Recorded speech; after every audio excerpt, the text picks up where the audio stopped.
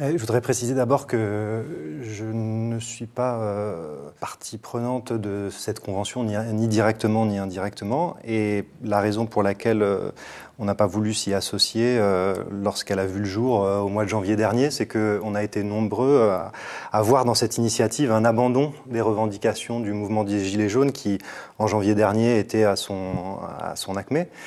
Euh, et cet abandon, il s'est traduit euh, dans la lettre de mission du, Premier ministre par euh, un rétrécissement du périmètre du débat auquel est tenue cette Assemblée en évacuant des questions qui étaient majeures et qui faisaient consensus dans le mouvement des Gilets jaunes, à savoir le RIC, le référendum d'initiative citoyenne, le rétablissement de l'ISF, de l'impôt de solidarité sur la fortune, et plus généralement la question de la justice fiscale sans parler de la, question de la démocratie directe. Donc, euh, lorsque cette initiative a vu le jour, euh, on, a considéré, enfin, on a été nombreux à considérer que c'était une, initiative qui était euh, malvenue à ce moment-là.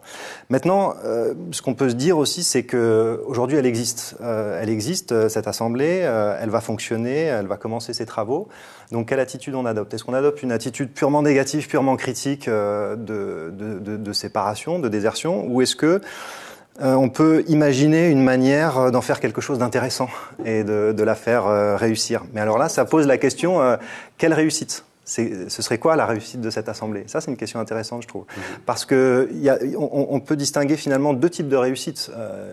Il y a la réussite institutionnelle, c'est celle qu'imagine et que désirent ses, ses mentors par exemple les, les, présidents du comité de gouvernance, Laurence Tubiana ou euh, Thierry Pêche.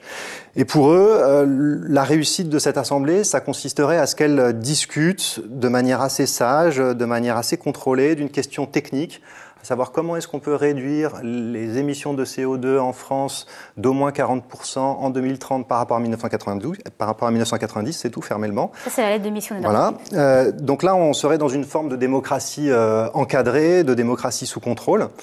Et euh, à mon avis, ce serait un échec. Par contre, on pourrait imaginer une autre forme de réussite de cette Assemblée, une réussite imprévisible, démocratique, qui passerait par un débordement du cadre qu'on voudrait lui imposer.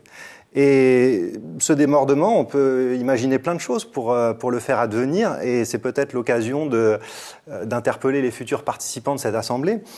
Euh, par exemple, cette Assemblée pourrait commencer par refuser le contrôle et la tutelle des experts et des sachants du comité de gouvernance euh, qui veulent s'arroger le droit de déterminer les thèmes et la manière dont, on, dont cette Assemblée va discuter euh, de, de, ces thèmes.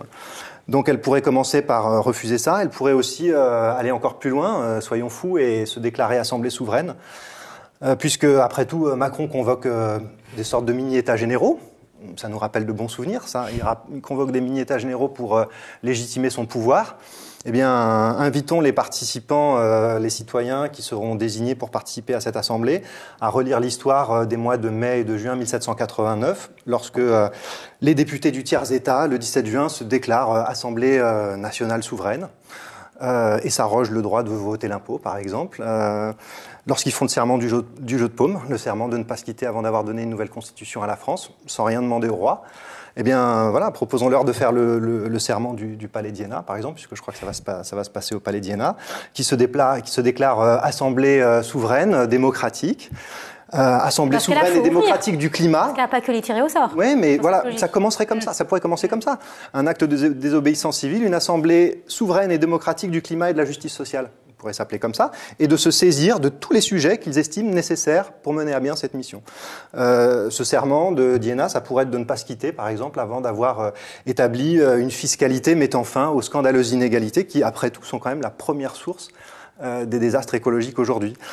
Donc euh, qu'ils qu proposent ou qu'ils euh, proposent d'imposer le RIC, qu'ils appellent à l'organisation d'autres assemblées populaires tirées au sort partout en France.